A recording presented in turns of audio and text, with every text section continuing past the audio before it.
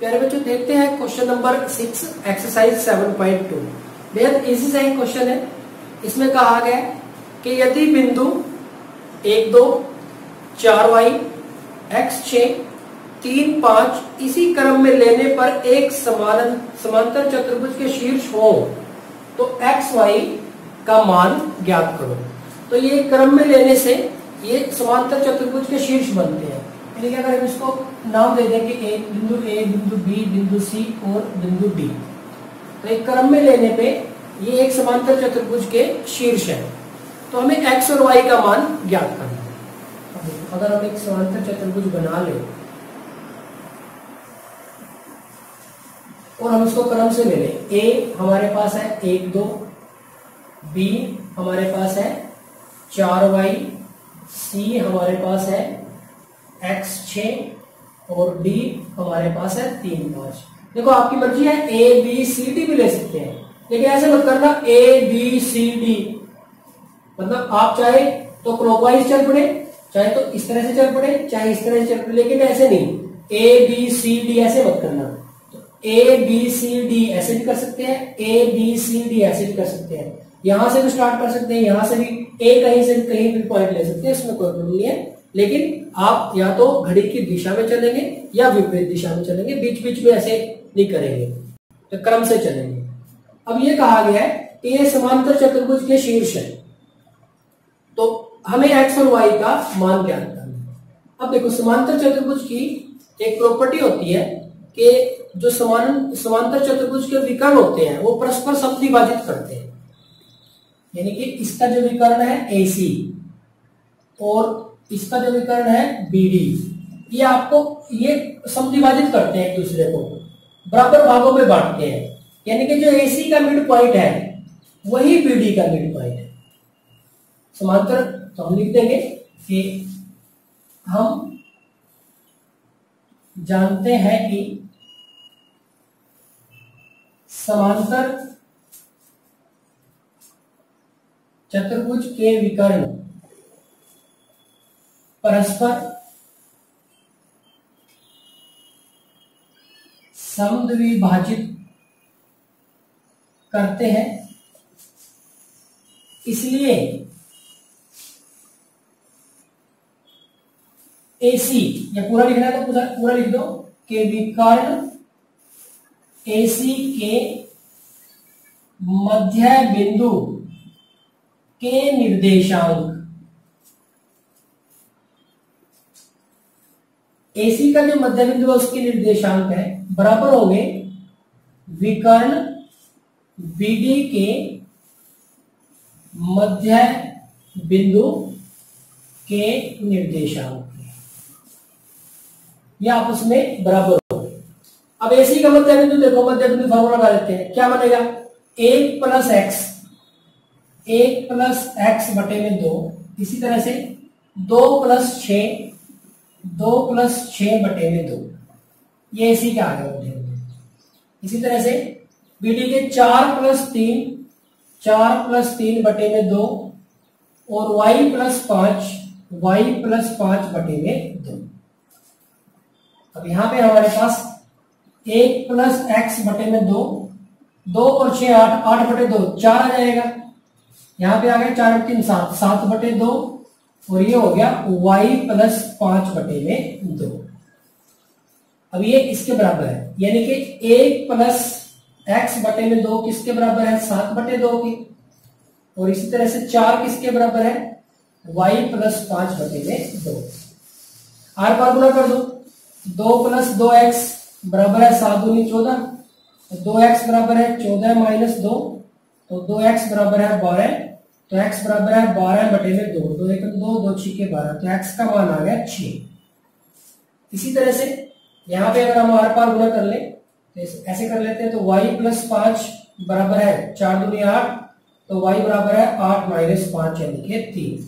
तो x का मान आ गया हमारे पास तीन, और y का मान आ गया हमारे पास सॉरी x का मान हमारे पास आ गया छ और y का मान आ गया तीन। तो ये हमारे पास इसका आंसर है।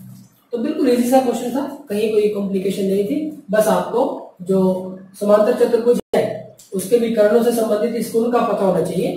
बड़ी इजीली आप इस क्वेश्चन को सोल्व कर देंगे तो ये था हमारे पास क्वेश्चन नंबर सिक्स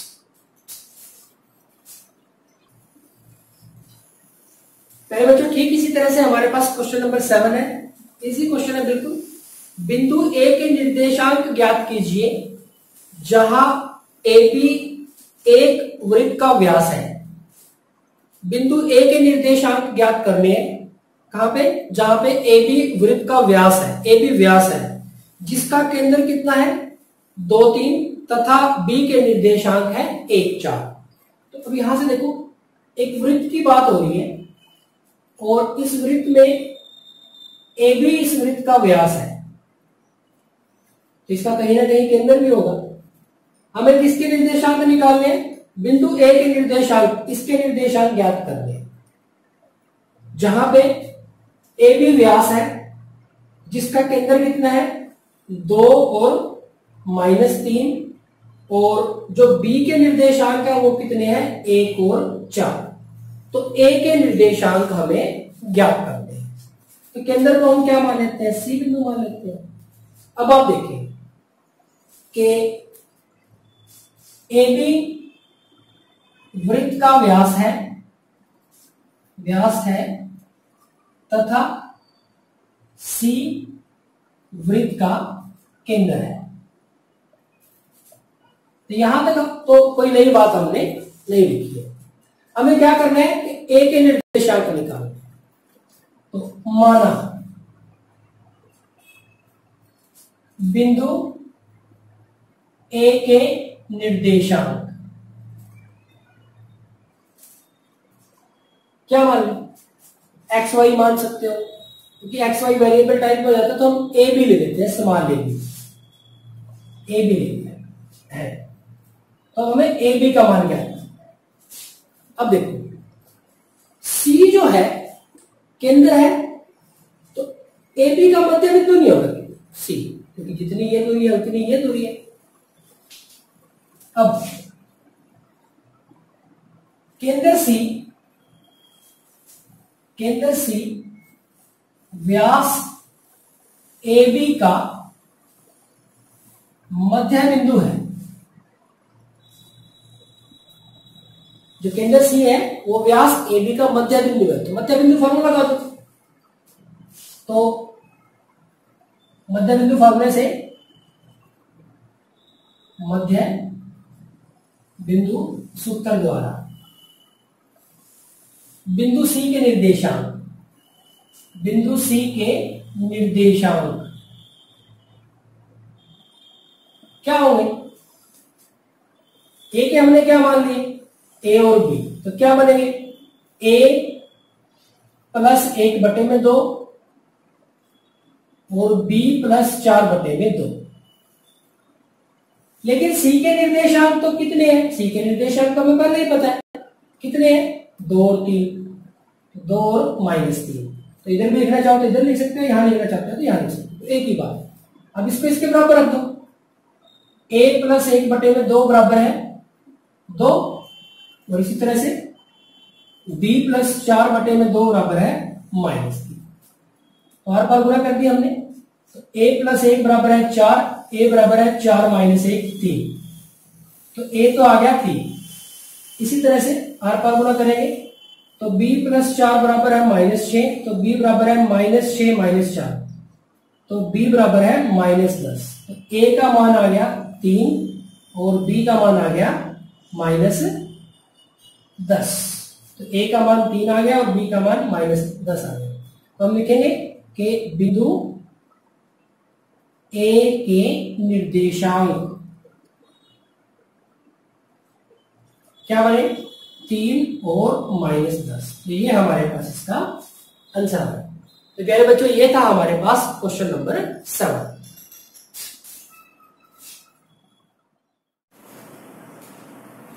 प्यारे बच्चों, देखते हैं क्वेश्चन नंबर एट। बिल्कुल सिंपल क्वेश्चन है। थोड़ा सा ट्रिकी बना दिया है इसको। जानबूझ के घुमा दिया थोड़ा सा। क्वेश्चन बिल्कुल सिंपल है। यदि ए और बी क्रमशः माइनस दो माइनस दो, और दो माइनस चार हो दो तो ए और बी दो पॉइंट है जो हमने लिख दिए तो बिंदु पी के निर्देशांक ज्ञात करने हैं। हमें बिंदु पी के निर्देशांक ज्ञात कीजिए ताकि AP AP बराबर है तीन बटा सात ए बी ओ और P रेखाखंड ए बी पर स्थित हो। जो P है वो रेखाखंड ए बी पर है। तो P ए बी रेखाखंड पे है कहीं। ठीक है अब हमें P के निर्देशांक निकालने हैं। तो हम विभाजन सूत्र से निकाल सकते हैं। अब विभाजन सूत्र से हमें क्या पता होना चाहिए? हमें अनुपात पता होना चाहिए कि P ने किस अनुपात में विभाजित किया। अब आप देखो, इसको ध्यान से देखो कि यहाँ पे एपी है जो तीन बटा सात है ए बी का। एपी ये। ये इस पूरे का तीन बटा सात है। यानी कि अगर ये पूरे सात हिस्से है तो एपी उसका तीन हिस्से है। एक तो आप इसको इस तरह से समझ सकते हो। या फिर देखो इसको ऐसे ले आओ। एपी बटे में, इसको इसके बटे में ले आओ। ए बी बराबर है तीन बटे में सात। अब देखो। आप इसको देखोगे? पार गुना करेंगे तो ये बी इधर आ जाएगा देखो। तो इसको हम वापस यहाँ ले आए। एपी बटे में ए बी एपी ये और एपी ये पूरा। तो एपी के तीन हिस्से एपी के लिए तीन और ए बी के लिए सात। तो इसका मतलब ये तीन हिस्से और ये पूरे सात हिस्से, यानी कि इधर कितने हिस्से आ जाएँगे फिर? चार हो जाएँगे। तो इधर वाले हिस्से कितने हो गए? चार हिस्से हो जाएँगे यानी कि अगर मैं लिखूं कि ए बी ए पी अनुपात पी बी ए पी और पी बी तो ये ये तो ऊपर तो तीन ही है ए पी और पी बी कितना होगा? इस पूरे में से ये माइनस हो जाएगा। पूरा कितना है? सात। और ये कितना है? तीन। तो ए पी बटे में पी बी ये कितना आ जाएगा? तीन बटे में चार। ये तो आपको समझाने के लिए लिखा है सीधा ही। ये तो आपको समझाने के लिए लिखा है तो आप तो सीधा ही लिख देंगे कि ये तीन हिस्से हैं और ये हमारे पास चार हिस्से हैं। तो अनुपात कितना हुआ? तीन अनुपात चार। अगर वो एपी और एक तो लेता एपी और एक लेता पीबी तो फिर सीधा ही अनुपात होता हुआ यहाँ पे हमारा। मान लो वो ऐसे कह देंगे कि एपी बराबर है तीन बटा चार पीबी यानी कि एपीबी इसके बटे में चला जाएगा। एपी बटे में पीबी ये तो तीन बटा चार हो गए देखो। अब देखो एपी ये वाला है और पीबी ये वाला है। तो सीधा ही तीन अनुपात चार आ जाएगा। अगर उसने एपी ले लिया पूरा तो उससे दूसरा वाला निकालना पड़ेगा। माइनस करके दूसरे वाला निकाल तो देखो, सीधी सी बात है। एपी है और एबी है। एपी है और पूरा है। तो ये कितना होगा?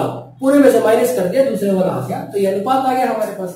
अब देखो, सारी चीज़ें हमें बिंदु पी के निर्देशांक निकालने हैं। तो हमारे पास x1 का मान माइनस दो y1 का मान भी माइनस दो x2 का मान दो y2 का मान माइनस चार m1 का मान तीन m2 का मान चार।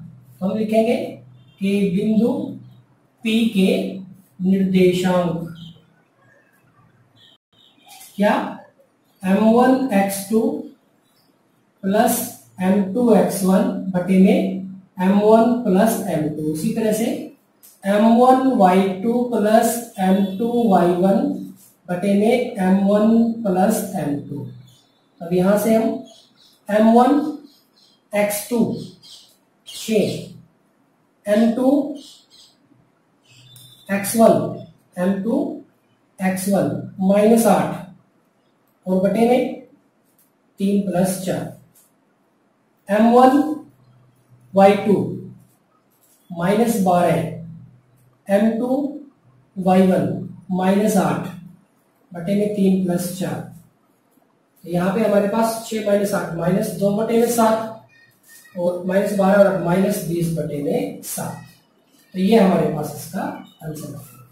तो बिल्कुल इजी क्वेश्चन था, कुछ भी नया नहीं था, एक छोटी सी बात थी जो आपको पता होनी चाहिए। तो ये था हमारे पास क्वेश्चन नंबर एट प्यारे बच्चों देखते हैं क्वेश्चन नंबर नाइन बेहद इंटरेस्टिंग क्वेश्चन है। इसमें कहा गया है कि बिंदुओं एक माइनस दो दो, और बी दो, आठ को जोड़ने वाले रेखाखंड ए बी को चार बराबर भागों में विभाजित करने वाले बिंदुओं के निर्देशांक ज्ञात करो। हमारा जो सेकंड क्वेश्चन था, उसमें तीन बराबर भाग में विभाजित किया था। अब की बार क्या है कि चार बराबर भागों में विभाजित करने वाले बिंदुओं के निर्देशांक। अब देखो, इसको चार बराबर भागों में बांटने अब इसको एक बार ध्यान से देखना। मैंने यहाँ पे एक पॉइंट लिया कि एक हिस्सा इधर, एक हिस्सा इधर, यानी कि दो बराबर भाग कर दिए। तो मैंने इस पॉइंट को सी मान लिया। अब चार बराबर भाग करने हैं हमें। तो मैं इसके दो टुकड़े कर देता हूँ, यहाँ पे डी कर देता हूँ, और इसके भी दो टुकड़े कर देता हूँ, यहाँ पे ई कर देता हूँ। अब देखो, एक, दो, तीन और चार। चार बराबर भाग हो गए। अब हमें क्या करना है? सी डी और ई e के निर्देशांक ज्ञात करने अब आप देखो सी को देखो पहले। जो सी है, वो ए बी का मध्य बिंदु है। क्योंकि इधर भी इतना ही और इधर भी इतना है। कि सी रेखाखंड ए बी का मध्य बिंदु है। इसलिए बिंदु सी के निर्देशांक। ज्ञात कर सकते हैं? मध्य बिंदु सूत्र से क्या बनेगा? माइनस दो प्लस दो बटे में दो और दो प्लस आठ बटे में दो। तो ये आ गया, माइनस दो प्लस दो, ये तो ज़ीरो ही हो गया। और ये दस बटे में दो, यानी क्या आ गया ज़ीरो और पाँच। तो हमारे पास बिंदु सी के निर्देशांक आ गए ज़ीरो और पाँच। एक तो आ गया आंसर हमारे पास। अब देखो, अब आप ध्यान से देखो, जो डी बिंदु है, वो एसी का मध्य बिंदु है। इसी प्रकार इसी प्रकार डी रेखाखंड एसी का मध्य बिंदु है। इसलिए तो बिंदु डी के निर्देशांक। बिंदु डी के निर्देशांक, इसके निर्देशांक। तो कर देंगे यहाँ पे माइनस दो प्लस ज़ीरो बटे में दो और दो प्लस पाँच बटे में दो। तो ये हमारे पास आ गया। माइनस दो बटे में दो और सात बटे में दो। माइनस दो बटे दो, पाँच और दो, सात बटे में दो। तो माइनस दो बटे दो तो माइनस एक मिल जाएगा और ये सात बटे दो। तो ये हमारा दूसरा आंसर है डी भी आ गया हमारे पास। माइनस एक और सात बटे दो। अब ई रह गया। अब आप ई देखें ई सीबी का या बीसी का मध्य बिंदु है। तो हम लिख देंगे कि इसी प्रकार ई रेखाखंड बीसी का मध्य बिंदु है। इसलिए बीसी का कह लो या सीबी का कह लो? बीसी का कह लो या सीबी की बात है। बिंदु ई के निर्देशांक। ई के निर्देशांक। बना लो ई की। क्या बनेगा? दो प्लस ज़ीरो या ज़ीरो प्लस दो की बात है। दो प्लस ज़ीरो बटे में दो और ये आठ प्लस पाँच बटे में दो। तो ये दो बटे में दो और ये तेरह बटे में दो। दो बटे में दो एक आ जाएगा और ये तेरह बटे में दो। तो ये हमारे पास आंसर आया तो ये आंसर फ़र्स्ट ये सेकंड और ये थर्ड तो बिल्कुल इजी क्वेश्चन था। सेक्शन फॉर्मूला की भी हमें ज़रूरत नहीं पड़ी। मध्य बिंदु फॉर्मूले से हमारे तीनों के तीनों जो बिंदु थे, उसके निर्देशांक हमने ज्ञात पहले बच्चों देखते हैं एक्सरसाइज 7.2 का लास्ट क्वेश्चन बेहद इंटरेस्टिंग क्वेश्चन है। इसमें कहा गया है, एक सम चतुर्भुज का क्षेत्रफल ज्ञात कीजिए, जिसके शीर्ष इसी क्रम में क्रम में लेने या तो हम क्लॉकवाइज ले या एंटी क्लॉकवाइज ले। तीन ज़ीरो, चार पाँच, माइनस एक चार और माइनस दो, माइनस एक है। तो हमें सम चतुर्भुज का क्षेत्रफल ज्ञात करना है। तो ये चार शीर्ष दिए हुए हैं। तो इसको अगर हम सम चतुर्भुज की शेप में लिख के और यहाँ लगा दें, जैसे इसको ए मान लें तो ए हमारे पास तीन ज़ीरो है तो बी हमारे पास है चार पाँच सी हमारे पास है माइनस एक चार, और डी हमारे पास है माइनस दो, माइनस एक। फिर रिपीट करो, ये गलती नहीं करनी कि ए बी सी यहाँ ले जाओ। ए बी सी तो यही आएगा। मान लो ए बी सी यहाँ से ए स्टार्ट करते हो तो ए बी सी डी ऐसे कर सकते हो।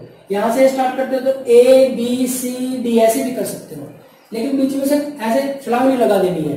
तो या तो इस तरह से चलो, या फिर इस तरह से चलो। मर्ज़ी आपकी, इस तरह से चलो या इस तरह से चलो, कोई फ़र्क नहीं है। क्लोकवाइज चले या फिर एंटी क्लोकवाइज चले, कोई दिक्कत नहीं लेकिन ब्रेक ब्रेक नहीं करना कोई भी पॉइंट बीच में से। तो अब इसका क्षेत्रफल निकालना है हमें। अब हमें पता है कि जो सम चतुर्भुज का क्षेत्रफल होता है, वो क्या होता है?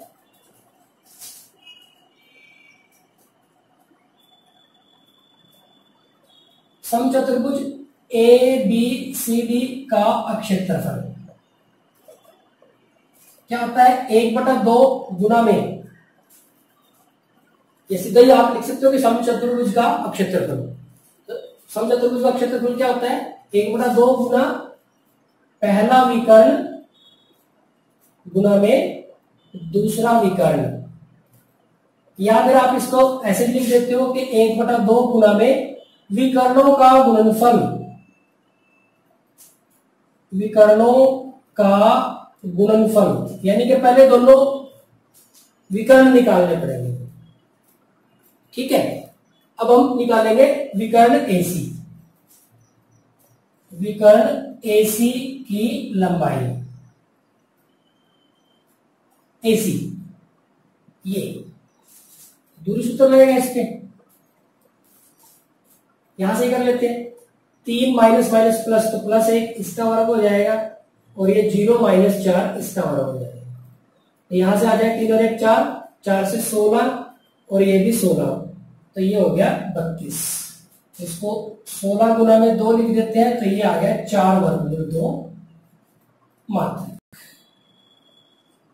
इसी तरह से विकर्ण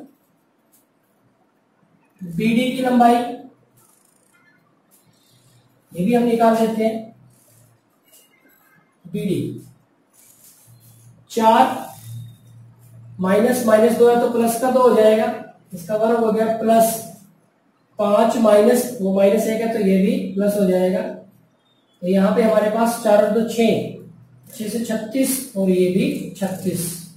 ये बहत्तर हो जाएँगे। तो बहत्तर को हम छत्तीस गुना में दो लिख देते हैं। छत्तीस से छ छ वर्गमूल दो। ये आ गया मात्रा। अब हम इस फॉर्मूले के अंदर रख देते हैं। तो क्या लिख देंगे कि सम चतुर्भुज का अक्षेत्रफल क्या है? एक बटा दो गुना में। विकर्णों का गुणनफल। पहला विकर्ण है हमारा चार वर्गमूल दो। और दूसरा विकर्ण है छह वर्गमूल। दो अब देखो, पहले बच्चों, वर्गमूल दो गुना में वर्गमूल दो। ये कितना होता है? दो होता है तो ये वर्गमूल दो और ये वर्गमूल दो इस दो के साथ कट गया। हमारे पास कितना बच गया चार और छह। गुना करेंगे तो चार छी के चौबीस। अब अक्षेत्र बना तो इसके साथ में लिख देंगे वर्ग मात्र। तो ये हमारे पास इसका आंसर है। तो ये था हमारे पास क्वेश्चन नंबर टेन। तो यहाँ पे प्यारे बच्चों, हमारी जो एक्सरसाइज है, वो कंप्लीट हो जाती है। बेहद इंटरेस्टिंग एक्सरसाइज है। तो बहुत ज़्यादा से डिफ़िकल्ट क्वेश्चन नहीं है। बेसिकली आपकी अंडरस्टैंडिंग पे बेस्ड क्वेश्चन है। तो यहाँ तक आपके तीन फॉर्मूले हो जाते हैं।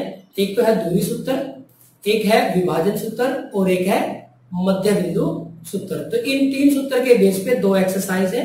बिल्कुल सिंपल क्वेश्चन है। बस आपको इन फॉर्मूला के साथ साथ जो स्टेटमेंट है, उसको अच्छी तरह से समझ के क्वेश्चन को करना है। तो जितनी ज़्यादा आप इसकी प्रैक्टिस करेंगे, उतना ही आपके लिए बढ़िया रहेगा। Thank you very much